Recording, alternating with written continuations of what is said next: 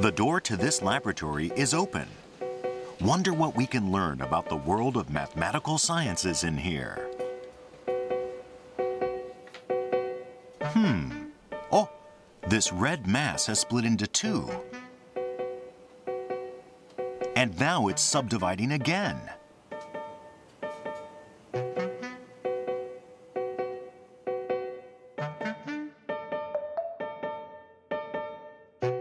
It looks like cell division is taking place.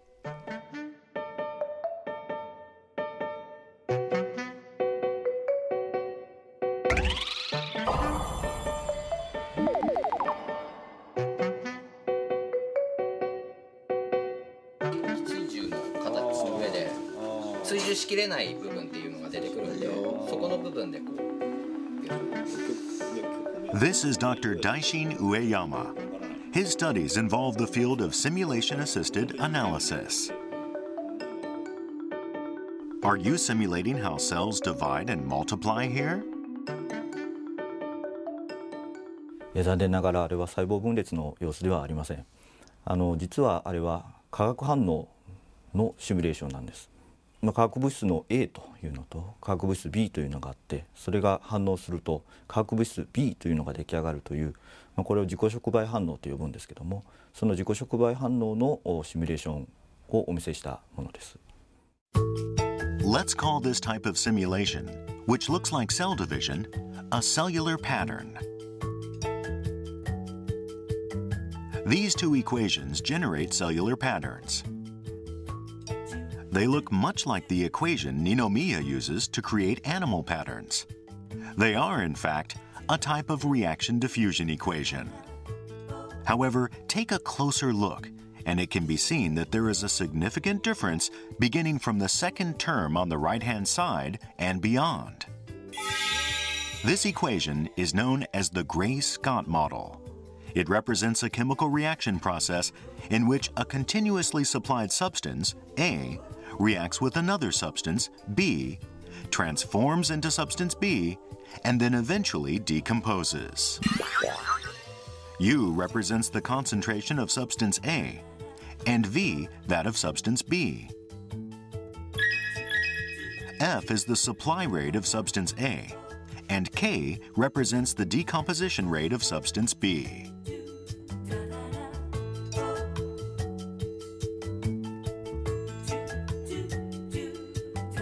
Inputting various values for f and k, Ueyama has used the Gray-Scott model to simulate the spatial patterns that can be created.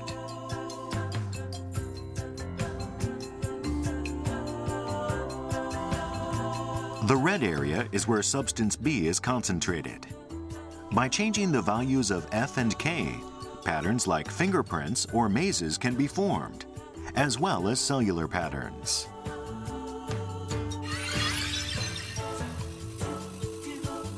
While studying cellular patterns in these simulations, Ueyama became aware of a very intriguing feature.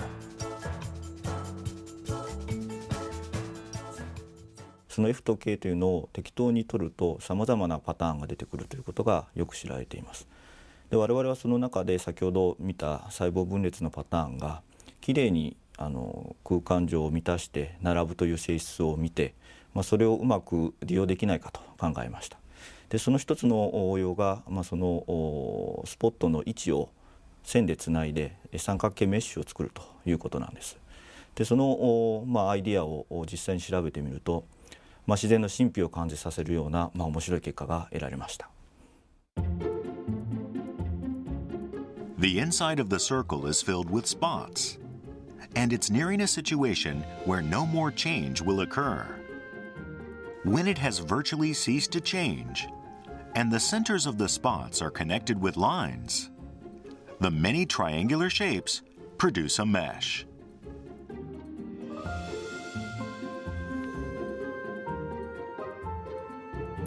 Let's measure the areas of these triangles and create a graph. The areas of the triangles are distributed symmetrically with a certain value at the center. The triangles accumulate in more or less the same dimension.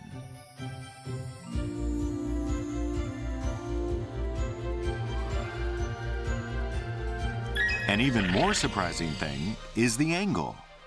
A majority of the triangles have inner angles of 60 degrees. In other words, they are essentially equilateral triangles, and there are very few triangles with larger or smaller inner angles. The triangles filling the area were nearly all equilateral, having virtually the same dimensions. In fact, filling the surface with a mesh made of triangles having nearly the same dimensions helps when conducting computer simulations of complex phenomena. By distributing a mesh of triangles with uniform area over the surface of an object that has a complex shape, the amount of data can be reduced, thus making the task more efficient. Up until now, there was software that generated triangular meshes automatically. We compared the lengths of the sides and the distribution of inner angles between the method proposed by Ueyama and commonly used software. The method proposed by Ueyama is shown in yellow. It has a more distinctive peak than that created using existing software. This means that Ueyama's method successfully produces a mesh with uniform side lengths and inner angles. Besides circles, good results have been achieved for gourd-shaped areas too. Quick meshes can be formed for natural shapes like human bones. At a single glance, it can be seen that even for areas with complicated shapes, a uniform mesh can be produced.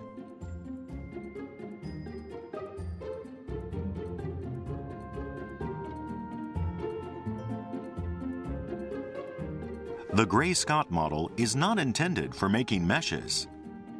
However, it creates nearly perfect meshes, a most intriguing phenomenon.